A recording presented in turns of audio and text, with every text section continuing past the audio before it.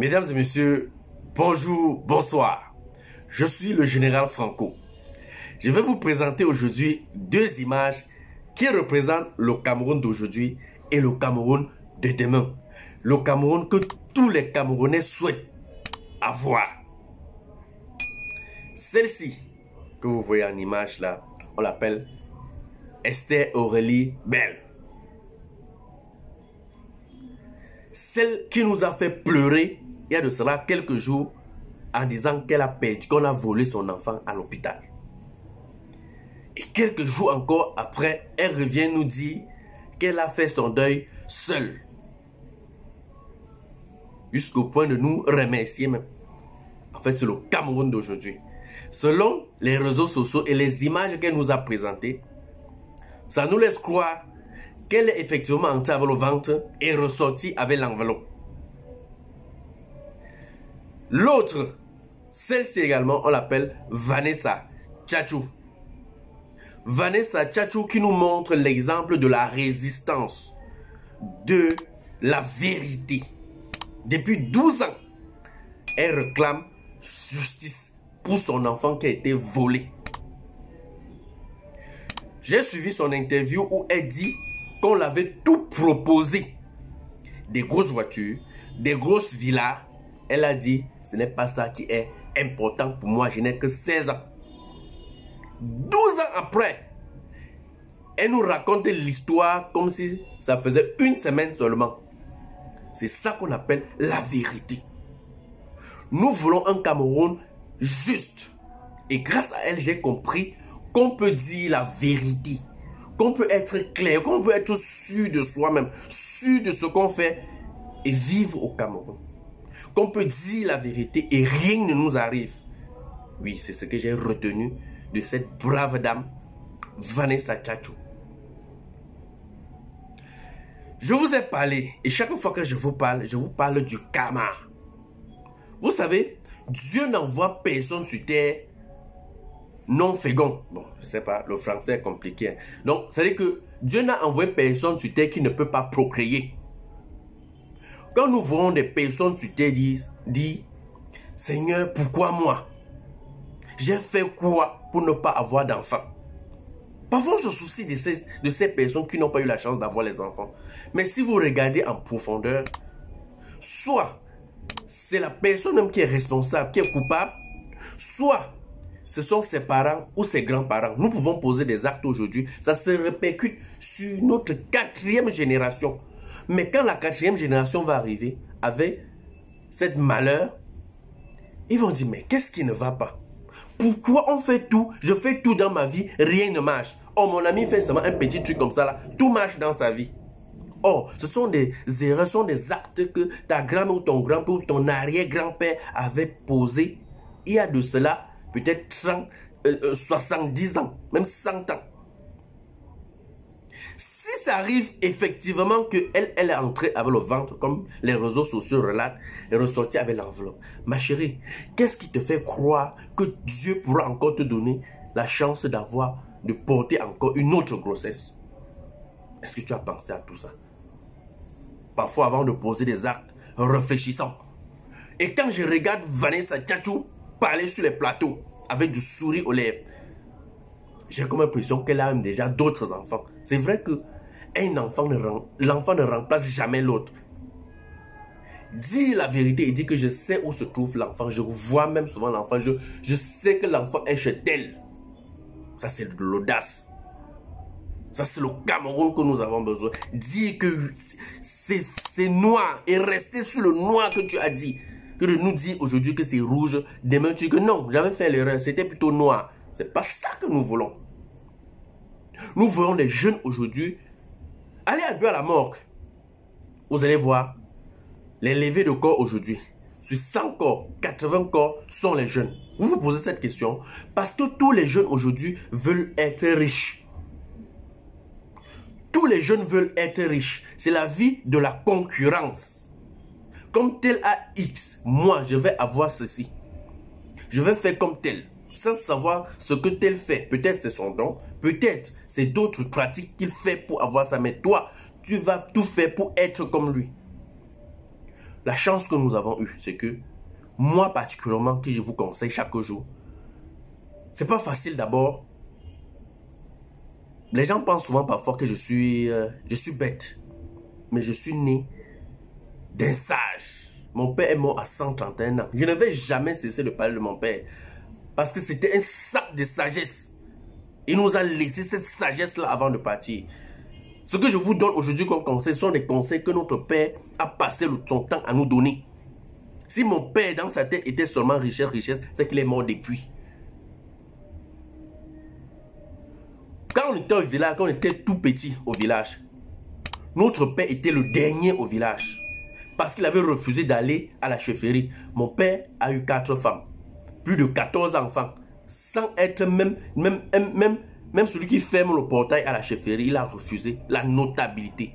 Il était insulté par tout le monde au village. Mais il est mort, on l'a enterré comme un pape. Il, est, était heureux. Les gens sont morts. Les, ceux qui ont accepté la notabilité, tout ça là, sont morts 50 ans, 60 ans avant notre père. C'est que si quelqu'un est mort à l'âge de 80 ans, il est mort 50 ans avant notre père. Et c'est la leçon que notre père nous enseignait. On a presque arraché tous les biens de notre père. Il a dit tout ça est vanité. Quand je vois les gens venir me dire aujourd'hui que Franco, tu es jaloux de tel, tu es jaloux de l'organisation de tel, ça me fait rire. Parce que vous ne connaissez pas l'éducation que nous avons reçue de notre, notre père. Les amis, moi je connais des familles, quand vous courez pour la richesse, je connais un père a souffert pour ses enfants. Souffert, souffert, souffert. Il faisait les, sa femme faisait les champs. Lui, il ne faisait même presque rien. Mais ils sont battus pour inscrire leurs enfants à l'école on l'insultait dernier au quartier. Parce que la maison, même quand il pleuvait, c'est tous les récipients de la maison qu'on mettait au plafond pour recueillir l'eau. Mais les enfants se sont battus. Fini les études. Ils, sont, ils ont des grands postes ministériels aujourd'hui. Il y a ce qu'on appelle la chance. Ça existe dans la vie. Quand tu crois, quand tu es honnête, il y a ce qu'on appelle la chance. Ils ont des très grands postes. Actuellement, où je vous parle, au quartier, ces enfants ne sont même pas bien comme les autres. Ces enfants, il faut voir la maison que leurs enfants, que ces enfants sont venus faire. Casser l'ancienne, la, la, case qu'il avait. Retaper R plus 3.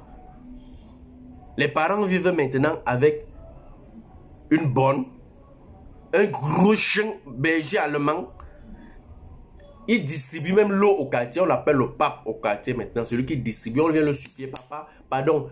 C'est plutôt lui qui aide les gens au quartier. Celui qui a, qui a passé toute sa vie, on l'insultait. Donc c'est pour dire aux parents qui, dès que vous avez un peu un petit 100 francs, vous dites que mon père avait fait quoi pour moi? Tu cours, tu pas boire ta bière, tu que même mon fils va grandir, c'est chercher comment? Non, mon frère, si tu as un peu d'argent, investis sur ton enfant. Vous courez pour quelle richesse? Je vous ai présenté une image tout à l'heure, un, monsieur qui a eu six enfants, euh, neuf enfants, avec les quadruplés. Sa femme vient d'accoucher quatre enfants. Ils sont neuf dans une chambre. Neuf plus eux, sont onze dans une chambre. Vous allez aller chez un monsieur qui vous parle de la richesse là. Et qu'est-ce que vous appelez d'abord la richesse? Quelqu'un qui a une villa peut-être de 50 chambres, mais sans enfants. C'est ça que vous appelez richesse Moi, je pense que la richesse que vous voyez là, ce n'est pas seulement financière. Le père qui a eu neuf enfants là, il est riche en humain. Il est riche avec ses enfants. Qu'est-ce que vous voulez comme richesse? La richesse financière. Vous allez faire quoi avec ça? C'est pour faire quoi? Moi, je connais également une famille, il a souffert comme ça, souffert, souffert, souffert. On l'insultait toujours partout, partout, parce qu'on l'insultait. Raté, tout ça. Le père s'est battu avec sa femme envoyer ses enfants toujours à l'école. Les enfants ont même fait l'école l'université de soi. Il y a l'une de ses filles qui a eu la chance de tomber sur l'enfant d'un bobo. Le gars a aimé dans la fille. Ils ont fait leur vie ensemble. Ils sont en Europe aujourd'hui. La fille arrivée en Europe et tiré la main de ses deux frères. Ses deux petits frères. Ses deux petits frères ont trouvé aussi le, boulot et ont dit que presque toute la famille est en bain. Les, parents sont tous en bain. Il faut aller au village voir ce qu'ils ont mis là-bas comme, maison. Les parents sont partis tout droit du village, ils sont même passés à Douala Yaoundé, directement pour Mbeng. Parce qu'ils ont passé tout le temps à se sacrifier pour leurs enfants. Mais les gens qui se moquaient d'eux, que oh, vraiment, même boire une bière te dépasse, ils passaient le temps à se moquer. Ils sont quoi au village, là maintenant? Famille abandonnée. Tous ceux-là qui ont accepté que nous devons être des gros notables, quand on arrive au deuil, c'est nous qui allons parler. Oh, toi là, on, on s'adressait comme ça à notre père. Comme il n'était rien à la chefferie, il avait la parole. Il restait justement tranquille. Il les observait. Ils avaient tous le pouvoir. Tout ça pour un litre d'huile et un petit morceau euh, de viande. Oui, notre père que je m'en fous de tout ça. D'abord mes enfants. Vous voyez un peu? On est tout petit, on est en train de se battre. On va construire également notre, notre famille, notre, notre, concession au village. On va développer comme tout le reste. Mais ceux qui avaient accepté d'être les notables, abandonner leurs enfants, leur, concession va rester en brousse comme ça à vie. Chers parents, quand vous avez un peu de moyens, investissez sur vos enfants. Parce que l'avenir, l'école a sa place. Qu'on ne vous trompe pas. L'autre vont venir vous dire que, ah, on a même beaucoup fréquenté, on a fait quoi avec? Voilà, tel qui, qui a abandonné l'école, il est maçon, il est... Même si l'école, ton enfant est nul à l'école, inscris-le dans un centre de formation professionnelle. L'enfant se forme bien. Tu ne vas pas regretter. Que d'aller boire les bières avec cet argent. Investissez sur vos enfants. Vous comprenez la leçon? Chers jeunes, ce que vous, avez, vous appelez richesse là, cherchez plutôt à avoir la paix. Oui. Cherchez plutôt à, avoir la paix, à être stable, que de chercher à être riche. Parce qu'il y a les riches qui n'ont pas de paix. C'est vrai qu'il y a certains, quelques riches, mais ils ne sont pas aussi nombreux que ça. Plusieurs riches là n'ont pas la tranquillité. Eux, ils rêvent même plutôt être à votre place pendant que vous rêvez être comme eux. Et c'est ça la vie. Vous ne pouvez pas croire. Ils sont nombreux comme ça que s'ils pouvaient devenir pauvres parce que ce qu'ils font pour avoir ce qu'ils ont, vous ne pouvez pas imaginer. Donc, en somme, en conclusion, arrêtez. Il ne faut pas envier quelqu'un dans votre vie. Moi, je n'envie personne dans ma vie. Je ne veux pas compter le nombre de bobos qui sont arrivés ici au pays. J'ai me voir, j'ai fait comme ça. Les... Quand ils pas là, ils sont qui me suivent, ils savent. Moi, ne coupe pas de rien riche. Je vous parle des preuves. Quand tu arrives, tu as ton argent. Je te prends au même niveau que celui qui n'a pas l'argent. Tu veux faut chanter, tu as l'argent. Il te classe. Parce que mon objectif, je vous ai tout dit ça, c'est pas la richesse, les grosses fortunes. Ce n'est C'est pas dire que si Dieu me donne, il va refuser. Mais c'est pas ça qui est important. Moi, ce qui est important pour moi, c'est la paix. La paix, l'âme. La paix dans mon cœur. Quand je mange, je n'ai pas peur que... quand je vois tel personne, c'est moi qui avais tué le père de l'enfant. Pas ça. C'est la plus grande richesse qui n'a jamais existé sur terre. La paix du cœur, la paix de l'âme. C'est la plus grande richesse. Je prie Dieu chaque jour pour la santé.